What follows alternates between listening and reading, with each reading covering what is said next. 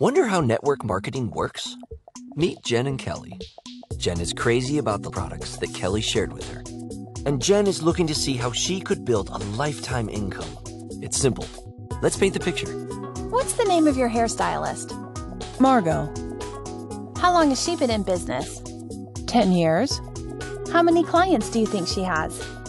about a 100. They value her opinion? Of course.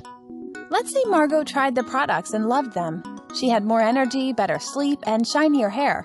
Would she tell her clients? Absolutely, it'd be natural for her.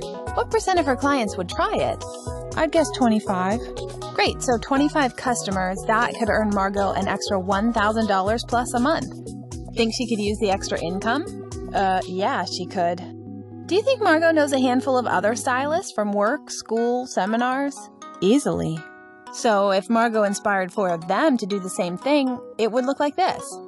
Margot, 25 customers, plus four business builders, each with their own 25 customers, and Margot is earning on her customers, plus her four distributors, she could be earning up to another $1,000 a month on her team.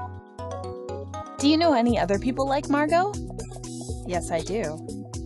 Awesome, Sauce. You are sitting on a ton of possibilities. How soon can we meet with these people? That's the beauty of network marketing.